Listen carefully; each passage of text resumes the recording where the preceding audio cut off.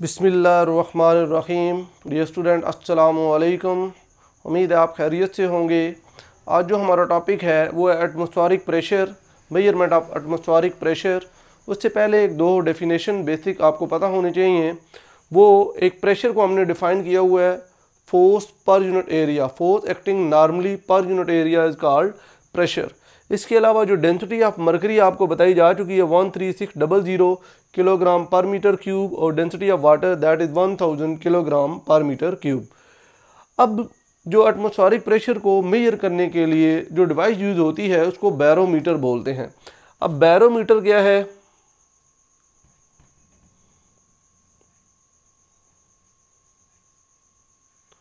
Barometer अब जो word है baro baro mean pressure baro जो है वर्ड दैट मीन प्रेशर अब बैरोमीटर वो डिवाइस है जो कि प्रेशर को मेयर करने के लिए यूज़ होती है. It is a device which is use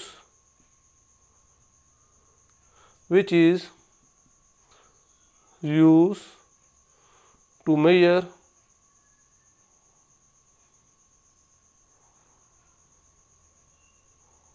pressure. जो वो डिवाइस है, जो कि प्रेशर को मेजर करने के लिए यूज़ होती है it is the device which is use to measure the pressure is called the barometer अब बैरोमीटर की कंस्ट्रक्शन की तरफ़ हम आते हैं। बैरोमीटर की कंस्ट्रक्शन किस तरह की जाती है और इसकी वर्किंग कैसे होती है, उसके बारे में हम बात करेंगे। आप एक ग्लास ट्यूब लें। ये एक ग्लास ट्यूब हमने ली है।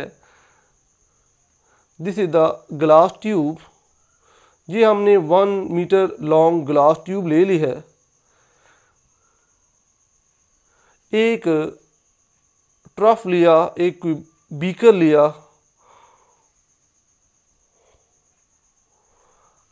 अब ये जो वन मीटर लॉन्ग हमने ग्लास ट्यूब ली है, इसमें हम क्या करते हैं? मरकरी को फिल कर देते हैं। अब इसमें हम मरकरी को फिल कर दिया। मरकरी को फिल किया। अब ये जो ट्रफ है, इसमें भी मरकरी को फिल कर दिया जाता है। ये मरकरी को यहाँ पे फिल कर दिया। अब हम क्या करते हैं, ये जो गिलास है, इसको इस तरह उठा के इसके अंदर प्लेस इस तरह एक गिलास है। ये जो बार है, जिसमें हमने मरकरी को फिल किया है ट्यूब है, इसको हम क्या करते हैं, ऐसे उठाते हैं, इसके ट्रफ के अंदर प्लेस कर देते हैं बीकर के अंदर इसको प्लेस कर देते हैं। अब इसकी जो डायग्राम है, वो इस तरह की शेप हो जाएगी। अब इसमें मरकरी आपने फिल किया हुआ है। ये जो मरकरी है जिसमें फिल है। No this mercury move downward ये मरकरी क्या करता है? डाउनवर्ड फ्लो होना शुरू हो जाता है और इसका यहाँ से लेवल क्या होता है? बढ़ना शुरू हो जाता है। अब ये लेवल जो है, ये लेट्स पोज ये जो लेवल है, इसको मैं अब ग्रीन कलर से शो करता हूँ, ये लेवल बढ़ गया है। फ़र्स्ट के मुकाबले में लेवल अप हो गया है। और यहाँ से जो लेवल होगा दैट विल बी डिक्रीज अब जो मरकरी है, वो इसके अंदर प्लेस हो गया है। अब एक लेवल पे आता है जी हाइट एच पे आके मरकरी स्टॉप हो जाता है।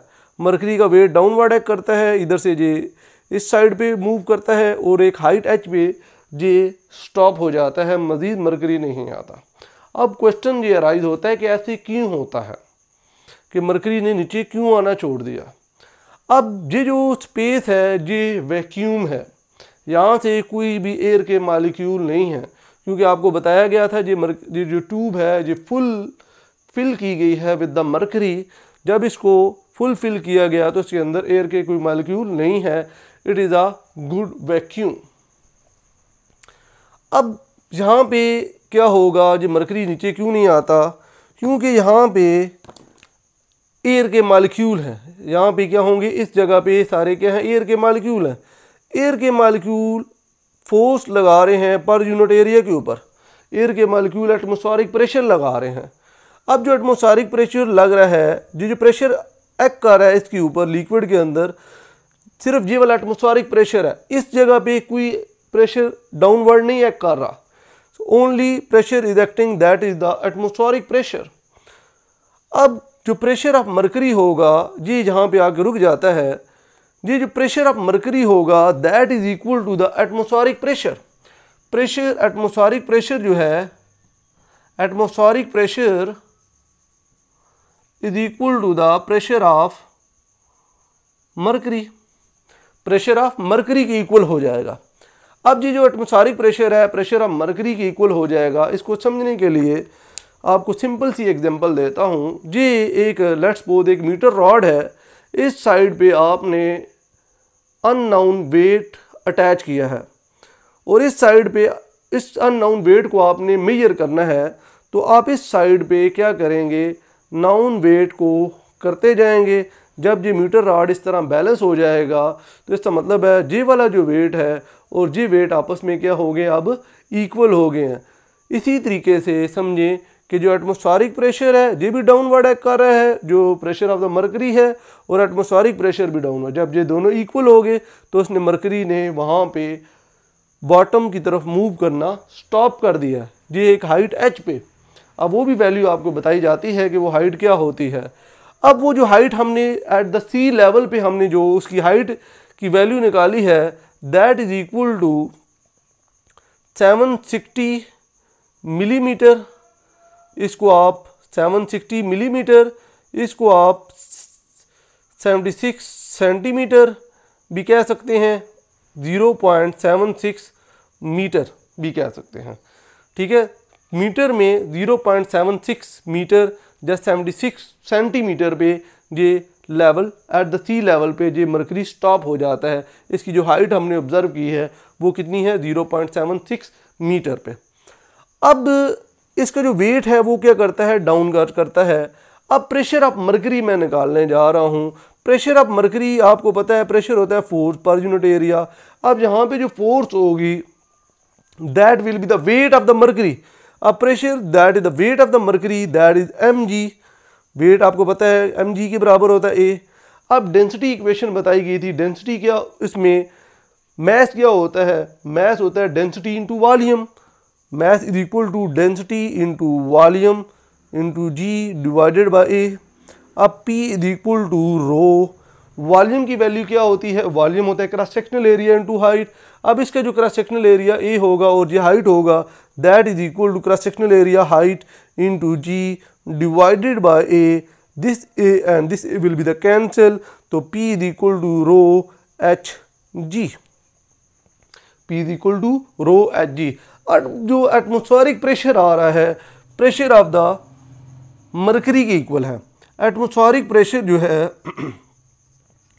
that is equal to the pressure of mercury that is equal to rho H G अब आपको density of the mercury is equal to one three six double zero one three six double zero height that is equal to zero point seven six metre zero point seven six into nine point eight जब cross multiply करेंगे answer is equal to one zero one three double zero newton per metre square it is the atmospheric pressure at the sea level, at the sea level, at sea level sea level पे हमने इसको major किया है।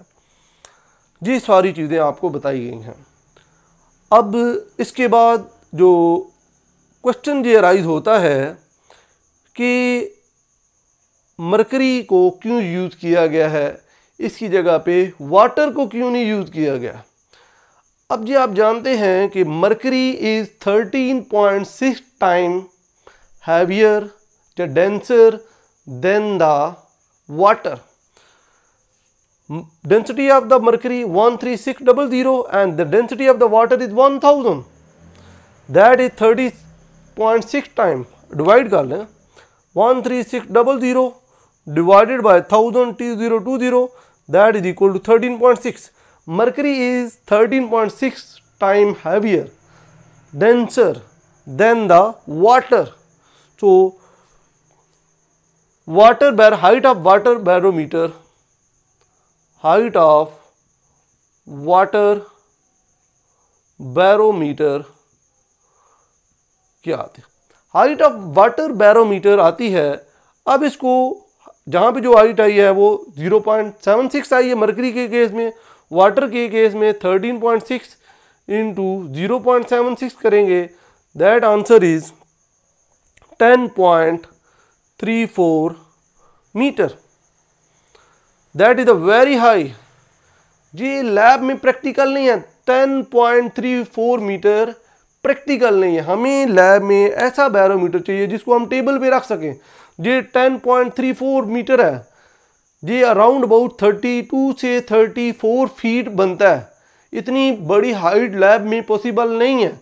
इसलिए हम क्या करते हैं प्रेफर करते हैं जो बैरोमीटर में मरकरी यूज़ किया जाता है। वाटर भी यूज़ किया जा सकता है, ये नहीं किया जा सकता कि नहीं किया जा सकता, किया जा सकता है।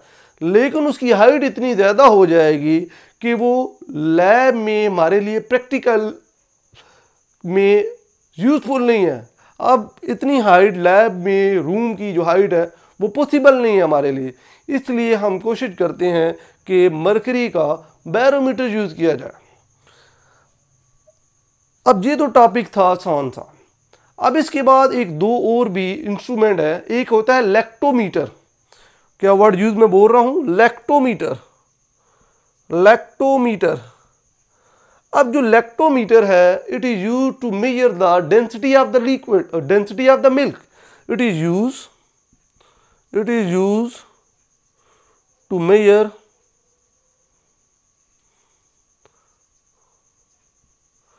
density of milk एक हाइड्रोमीटर भी होता है। कौन सा होता है जी? Hydrometer it is used to measure the concentration of acid in battery. It is used to measure the concentration of acid in the battery. ये बेसिक क्वेश्चन थे डी स्टूडेंट जो कि आपको बताए गए हैं। एक दफ़ा फिर जल्दी से रिवाइज करवा देता हूँ। बैरोमीटर बैरो मीन प्रेशर ये प्रेशर को मेजर करने के लिए यूज़ होता है। इसकी कंस्ट्रक्शन में आपको बताया है ये ग्लास ट्यूब है वन मीटर लॉन्ग है।